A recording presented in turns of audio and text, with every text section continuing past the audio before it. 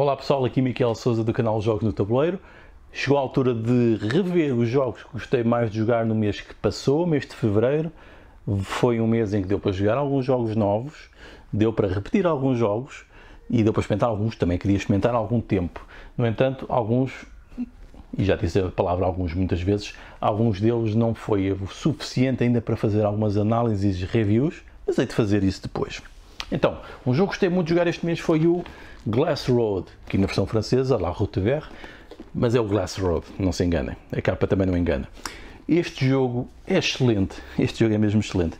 Eu gosto muito do autor, do Uwe Rosenberg, e este é um dos jogos, eu diria que é mais caricato dele, porque tem muitas coisas típicas dos jogos deles, a necessidade de realmente estamos a construir no território, tem uma economia, gastamos recursos para produzir edifícios e edifícios dão pontos.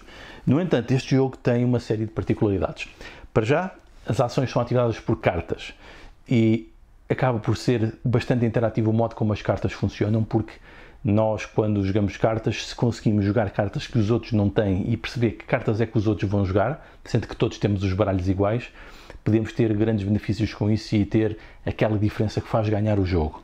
Portanto, é, é interessante, obriga-nos a ler o jogo dos outros e a analisar também o nosso, aquilo que é bom para nós. E depois tem um sistema de produção com umas rodas, aqui que são os relógios, que é muito inteligente, que basicamente os recursos se convertem naturalmente de matérias-primas em matéria uh, produzida, que neste caso são tijolos e vidro. Pode ser um bocado confuso para quem joga pela primeira vez e até para quem está a planear, porque está em constante mutação, mas é muito, muito interessante. Um jogo que joga é bastante rápido. Eh, nós, vocês conseguem jogar, se forem com pessoas que estejam habituadas, numa hora e meia, à vontade. E é muito, muito interessante. Gostei muito de voltar a jogar Glass Road.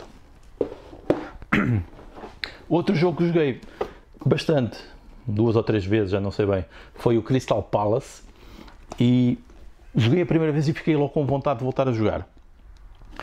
É um jogo com um tema original. Estamos a, criar aqui a nossa exposição, mas o tema também podia ser outra coisa qualquer, não é assim tão forte como isso. É um típico Eurogame em que o, o tema podia estar adaptado a uma coisa ou outra. No entanto, apesar disso, até está integrado, porque realmente estamos com inventores que depois fazem combinações com as patentes e as invenções, temos de apostar na divulgação do nosso pavilhão nacional, uh, temos que fazer aqui um equilíbrio que, é, que eu acho que é muito bem feito entre o poder dos dados que nós escolhemos e depois a economia que temos, num jogo que andamos sempre ali no limite de não ter dinheiro para pagar. Um, temos que equilibrar estas coisas todas com vários tipos de recursos, com vários tipos de combinações, com interação com os outros jogadores, não que seja muito negativa, embora possa ser, mas a interação é no valor dos dados que nós escolhemos e o modo como vamos exprimir as ações, sempre que há possibilidade de por vezes alguém não fazer uma ação pelo modo como os dados foram colocados intencionalmente pelos outros. Portanto, pode ter aqui um lado até uh, chato ou agressivo, mas eu acho que é muito interessante, especialmente nos Eurogames, quando vemos isto, quando temos pelo menos a possibilidade de escolher alguns jogos deste tipo. Um jogo que tem, tem um aspecto, eu acho que a caixa é muito bonita e os componentes também, mas depois toda a arte gráfica e o, e o modo como os componentes estão feitos faz lembrar os jogos de há uns 10 anos. Uh, e eu gosto até disso. Alguns deles uh, são. Que têm uma nostalgia própria no modo gráfico como estão feitos. Portanto, é um jogo que não, é um bocadinho dispendioso, penso eu, não está barato encontrar, não está fácil encontrar isto barato, mas é um jogo muito interessante e eu gosto e vou querer voltar a jogar isto novamente. E o terceiro jogo que eu gostei também muito de jogar este mês foi o Clans of Caledonia, voltei a jogar, foi também muito interessante, eu gosto sempre disto, este sistema económico, sem ser excessivamente pesado ou excessivamente complexo, não que eu não goste disso, mas nem sempre é fácil encontrar pessoas para jogar essas coisas mais pesadonas, mais longas.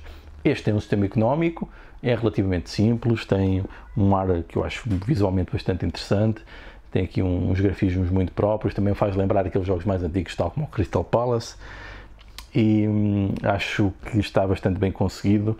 Uma conjugação de mecânicas que nenhuma delas é muito original, mas tirando o facto de colocar as peças um ao lado umas das outras e comprar, penso que isso é o mais original aqui do jogo, poder comprar com bónus mas acho que é muito giro, bastante interativo no tabuleiro. Isso é bom para um Eurogame, para um jogo económico, em que para mim é sempre satisfatório porque estamos sempre a produzir muitos recursos e eu acho que isso é bastante interessante no jogo, especialmente a quem gosta de jogos de motores de produção como eu. E pronto, foram os três jogos que eu gostei de jogar este mês. Um, alguns deles já fiz aqui análise no canal, outros vou fazer. E é sempre um, um prazer jogar estas coisas, estas maravilhas destes jogos tabuleiros modernos da atualidade e poder aqui partilhar e depois também ouvir as vossas opiniões e saber o que é que andaram também a jogar, até para me sugerirem coisas, porque lá está, as redes sociais e as plataformas online e o social media servem mesmo para isto, para partilharmos e interagirmos num hobby que vive muito disto também, da interação e da partilha do conhecimento. Então vá, adeus!